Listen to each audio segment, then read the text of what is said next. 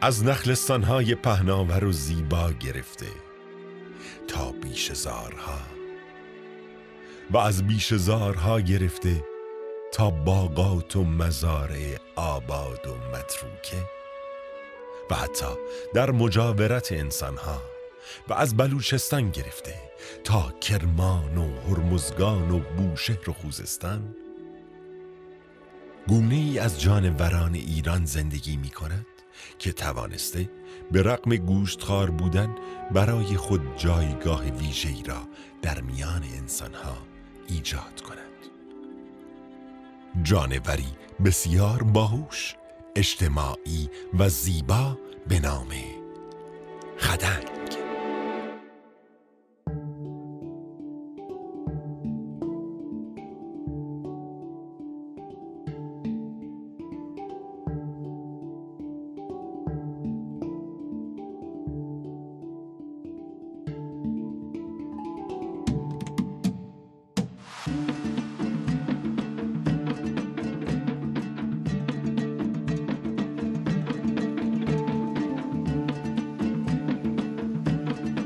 خدنگ ها اینجا زندگی می کنند جایی در میان نخلستان ها باغ ها و مزارع کشاورزی. جایی در میان انسان ها و گاهی در دل طبیعت و به دور از انسان ها آنها موجوداتی آرام و بی سر و صدا هستند. و جزء معدود جانورانی به شمار میآیند که می توانند بر روی دو پای خود بیستند گرچه معمولا از دم خود به عنوان تکیهگاه استفاده می کنند. زندگی اجتماعی دارند و اعضای خانواده آنها از چندین نسل تشکیل می شود.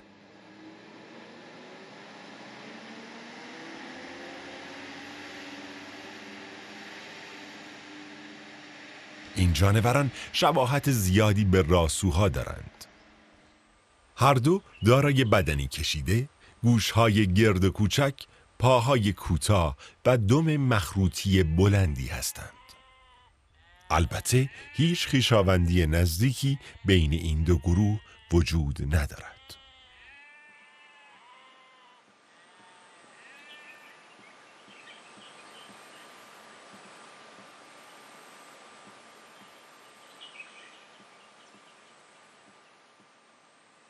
زندگی در قالب اجتماع برای خدنگ ها از اهمیت زیادی برخوردار است و معمولا بزرگترین خدنگ های موجود در هر دسته رهبری افراد را بر عهده می گیرند.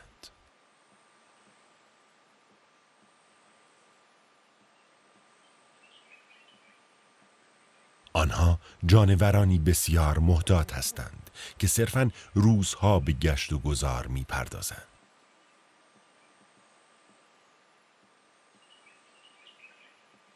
خدنگ در اولین فرصت پس از خروج از لانه مدتی را صرف گرفتن حمام آفتاب و معاشرت با دیگر اعضای خانواده می کنند.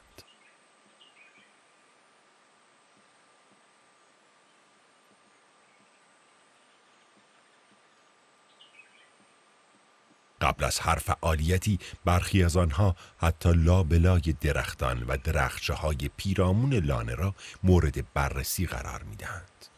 تا از شرایط حاکم بر محیط اطراف درک بهتر و بیشتری پیدا کنند و به ندرت از آنجا دور می شوند.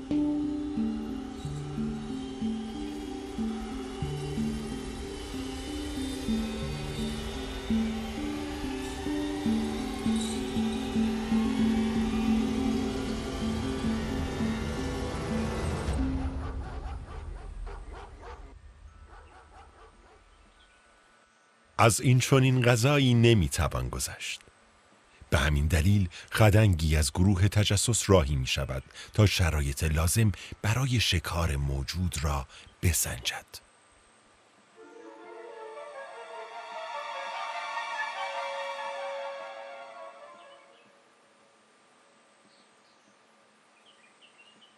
اما خیر ظاهرا شرایط چندان مهیا نیست و آنها فعلا مجبورند دست نگه دارند.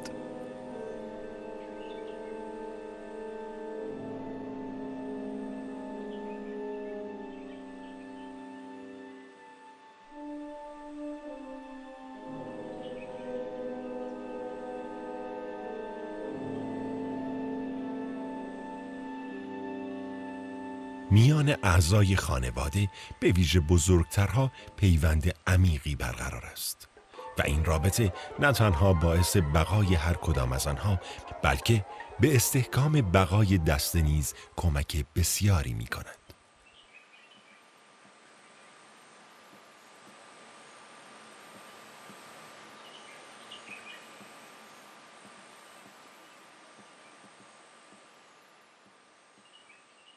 آنها در انجام فعالیت های روزمره و حتی شکار پیش تازند و باقی افراد دسته به سبب سلسله مراتبی که در دست دارند آنها را همراهی می کنند یا نظارگر آنها هستند. اگرچه این جانوران اغلب به صورت گروهی به دنبال غذا می گردند ولی هر کدام فقط برای خود غذا پیدا می کنند و زندگی در قالب گروه تنها تضمینی برای حیات تمام افراد گروه است. هرچند حفاظت از کوچکترها بر عهده همه افراد گروه است.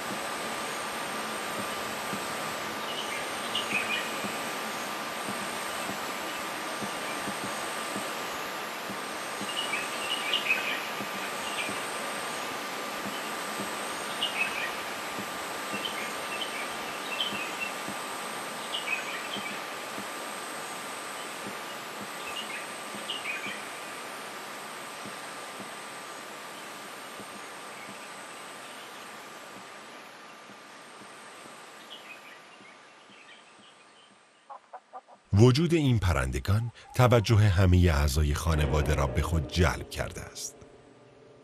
یکی از خدنگها آرام و با احتیاط به آنها نزدیک می شود تا شانس خود را امتحان کند.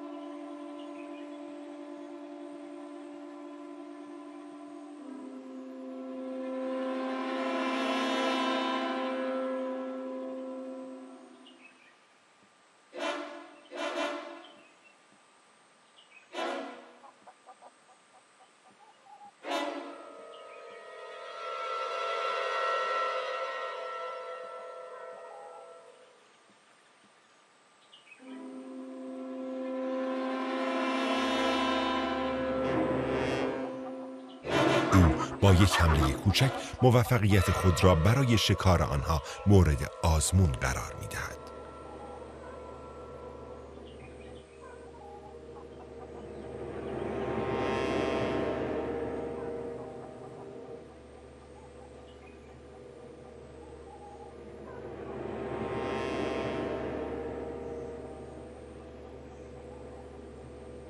ولی ظاهرا هنوز زمان مناسب برای شکار این تومه ها فرا نرسیده است و افراد گروه همچنان باید صبر پیشه کنند. انجام فعالیت های روزانه و جستجوی غذا مهمترین رمز بقای این جانوران است و این خود نیازمند همراهی و همکاری میان همه افراد گروه است. گاهی آنها برای افزایش گستره دیدشان بر بلندی های مشخصی که نقش دکل نگهبانی را برایشان دارد می روند. تا بتوانند خطرات احتمالی را سریعتر شناسایی کرده و افراد خانواده را مطلع کنند. آنها در کار خود بسیار جدی و منظم هستند. این چیست؟ این آن چیزی است که خدنگ ها قبلا آنجا ندیده بودند و حس کنجکاوی آنها را وادار می کند تا آن را مورد کنکاش قرار دهند. در جایی دیگر سایر افراد هر کدام به دنبال کار خود هستند. برخی در جستجوی بازمانده میوه های خرما برخی در حال نگهبانی برخی نیز در جستجوی سوزکا و خزندگان علفها را زیر و رو می کنند. برخی در جستجوی جوندگان کوچکی هستند که در حفره پای درختان مشغول استراحتند.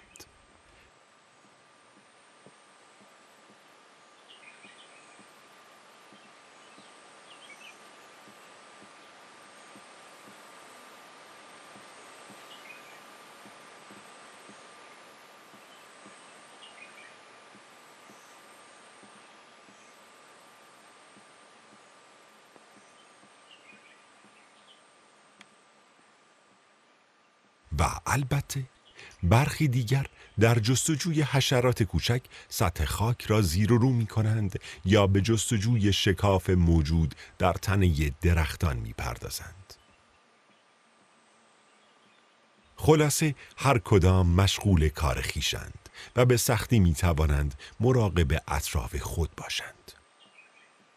بنابراین وجود خدنگ های بزرگتر که از تجربه کافی برخوردارند برای حفظ بقای گروه بسیار حیاتی است. اما شکار پرندگانی به این بزرگی برای هر گوشتخاری می‌تواند وسوسه انگیز باشد. آنها همه تمرکز خود را بر روی شکار این پرندگان معطوف می کنند. و احتمالا تصمیم دارند این بار حمله گسترده تر را تدارک ببینند.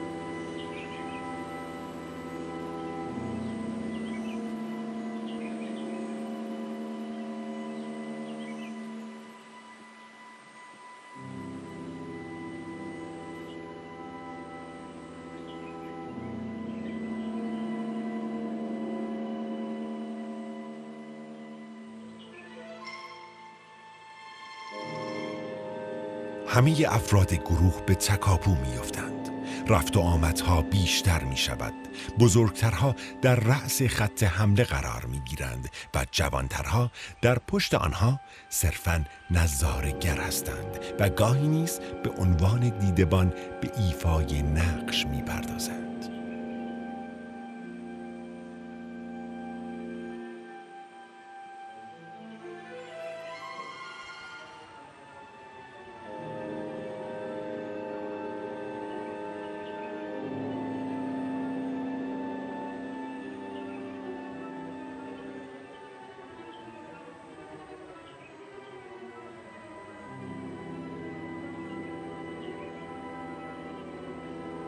یکی از افراد گله با احتیاط حمله را آغاز می کند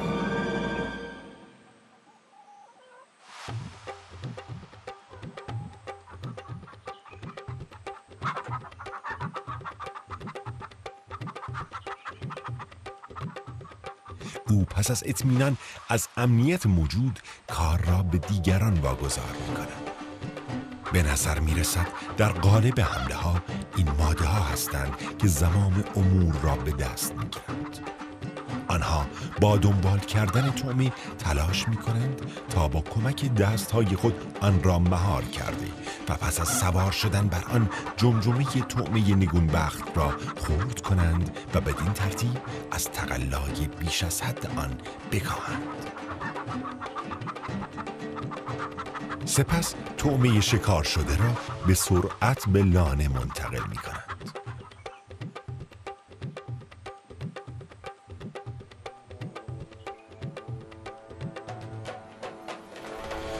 هرچند در بین راه خود را از گرفتن پاداش بی نصیب نمی گذارند.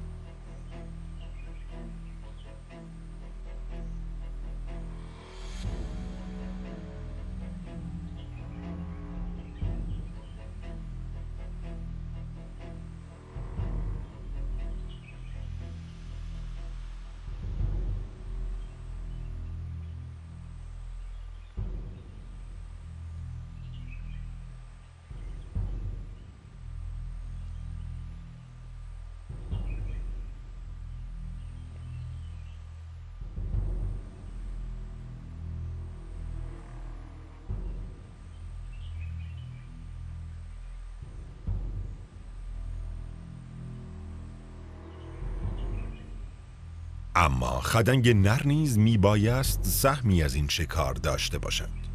بنابراین به سراغ تومه شکار شده می رود و تلاش می کند ورودی لانه را برای شراکت اجباری با خدنگ ماده باز کند. هرچند تا قبل از رسیدن او خدنگ ماده تا می تواند به سرعت از تومه شکار شده خواهد خورد.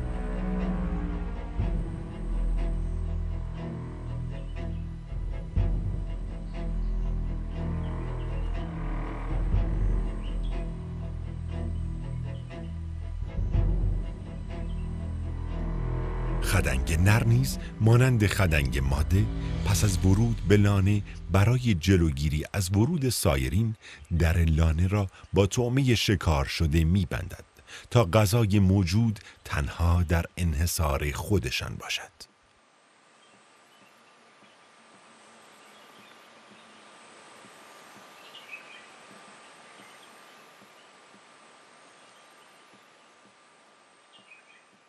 به پایان رسیدن شکار یعنی حاکم شدن آرامش در محیط اطراف محل زندگی خدنگ ها.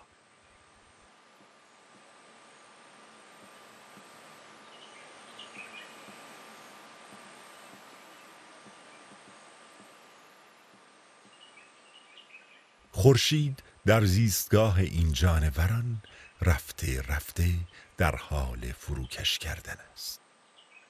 و افراد گله پس از سپری کردن یک روز پرتلاتم خود را برای گرفتن آخرین تششعات آفتاب و خواب شبانه آماده می کنند. آنها خوب می دانند که فرا رسیدن تاریکی یعنی خطر به همین دلیل با غروب خورشید از اطراف لانه زیاد دور نمی شود.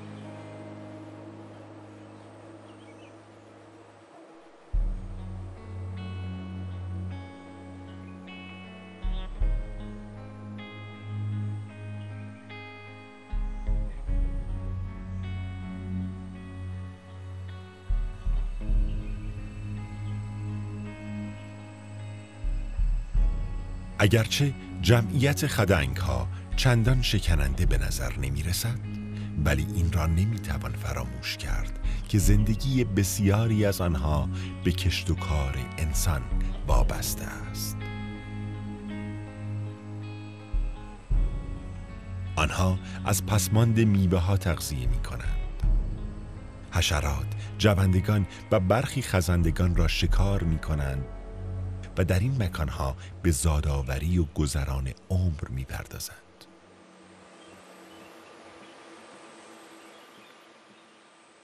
بدون شک با نابودی این مناطق از جمعیت این جانوران نیز کاسته می شود و به این ترتیب طبیعت یک جزء بسیار مؤثر از خود را برای همیشه از دست خواهد داد جانورانی که نگین طبیعت جنوب ایران هستند.